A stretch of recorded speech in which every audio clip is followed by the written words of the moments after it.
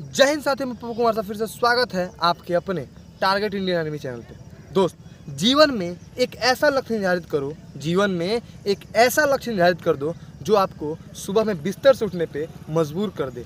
ताकि आप जब अपने ऊपर डिपेंड रहते हो कि मुझे कहीं जाना है मैं अपने लक्ष्य को प्राप्त करने के लिए सुबह बिस्तर से उठूँगा तो एक्सक्यूज़ नहीं होना चाहिए कि कल चलता हूँ, परसों चलता हूँ। चाहे आप रनिंग कर रहे हो, चाहे आप पढ़ाई कर रहे हो एक्सक्यूज़ करोगे तो आपकी जो लक्ष्य प्राप्ति में जो समय लगता है ना, वो बहुत ज़्यादा लग जाता है। ताकि आपको अपने ऊपर घमंड भी नहीं लाना है कि मैं पढ़ने में इतना तेज़ हूँ रनिंग करने में इतना तेज़ हूँ। आपको पता भी होगा कि हर पतंग को एक दिन कचरे के डब्बे में जाना होता है। हर पतंग को एक दिन कचरे के डब्बे में जाना होता है। तो घमंड किस बात का, मेरे दोस्त? हम और आप सबको एक दिन मिट्टी में विलीन हो जाना है। ताकि आप जब अपने लक्ष्य को प्राप्त करने के लिए जब रनिंग करते हो या पढ़ाई करते हो तो पूरी सजग रूप से करो। तो बहुत से भाइयों का कमेंट आया था, आज की टॉपिक जो होने वाली है, कि इंडियन आर्मी की रेस निकालने के बाद से बहुत से बच्चों का चेस्ट क्या पड़ जाता है? कम पड़ जाता है। और उस चेस्ट के चलते बहुत से बच्चों क्या होते हैं? छट जाते हैं बेचारे। तो उस चेस्ट में छटने की जो प्रक्रिया होती है ना, तुरंत आपको निकाल दिया जाता है। अगर आप स्टेट पुलिस की तैयारी करते हो तो थोड़ा सा माइनर के लिए आपको रख लिया जाता है, लेकिन इंडियन आर्मी में ऐसा नहीं है मेरे दोस्त। आपको पूरी तरीके से क्या किया जाता है क्विट कर दिया जाता है, निकाल दिया जाता है। तो आपको अपनी मेहनत को पूरी तरीके से करना होगा। मैं ऐसी एक्सरसाइज बताने वाला हूँ, ताकि आपकी जो चेस्ट थोड़ी सी माइनर से कम होगी तो मात्र दो मिनट वो एक्सरसाइज कीजिए, आपकी जो चेस्ट होगी, तुरंत पंप करके आएगी, और आपकी जो आप चेस्ट में जो छटते हैं, कभी नहीं छटिएगा मेरे दोस्त। और हाँ जब आपकी जो आपकी चेस्ट जो आपको पता है कम पड़ रही है तो भर्ती से दस दिन पहले आप केला दूध लेना चालू कर दें डाइट में। केला दूध से क्या होता है? और डिप्स लगाना चालू कर दें। इससे क्या होता है? आपकी चेस्ट में क्या होता है? तुरंत पंप आता है और चेस्ट क्या होती है? फूल के आती है। मैम, पहली एक्सरसाइज बताने वाला हूँ, आपको दो ईंट की ज़रूरत पड़ने वाली है। तो चलते हैं अपनी एक्सरसाइज पे। तो दोस्त, आप इंडियन आर्मी की रेस में अगर गए हो इंडियन आर्मी की रेस निकल गई है तो आपके वहाँ पे तो ईंट मिलेगी नहीं। तो मैं आपको यही समझाने वाला हूँ कि एक्सक्यूज़ नहीं होना है। आपको वहाँ पे घबराना नहीं है। ईंट अगर नहीं मिल रहा है तो आपको ईंट को साइड में रख देना है। आपको घर पे अपनी तैयारी कैसे करनी है बिना ईंटों के? मैं ईंट इसलिए बता रहा था ताकि आप जब इंडियन आर्मी की रेस में जा रहे हो तो वहाँ पे तो आपको ईंट नहीं मिलेगी। और कोई एक्सक्यूज़ भी नहीं रहेगा तो वहाँ पे ईंट ही नहीं था। आपने क्या बताया? तो दोस्त, एक बात ज़रूर सोचना है मेरे दोस्त कि हाँ अपने अंदर हम और घमंड नहीं लाना है।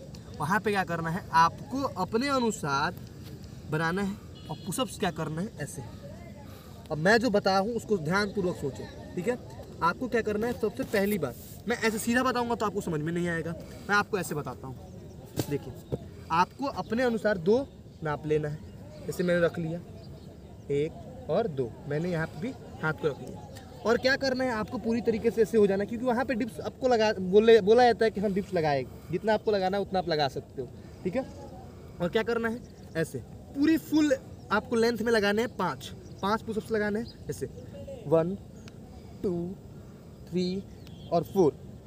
फाइव। आपको यहाँ पे होल्ड करना है। कितने सेकंड दो सेकंड। One, to. और तुरंत क्या करना है? आपको नीचे जाना है और हाफ़ पे आके होल्ड कर लेना है, ठीक है? ये देखिए। मैं गया नीचे और हाफ़ पे आके पाँच मारना है। एक, दो, तीन, चार और पाँच। हाफ़ पे मैं आके रुक गया। अब आपको दो सेकंड गिनना है। One, two. फिर हाथ से ऊपर आना है। One, two, three, four, five. यहाँ पे आके रुक जाना है। फिर हाफ़ से ऊपर आना है पूरा। यहीं पे रुक जाना। One two three four five अब पूरा फुल लगाना। है one two three four five और कुछ देर के लिए ऐसे होल्ड करना है।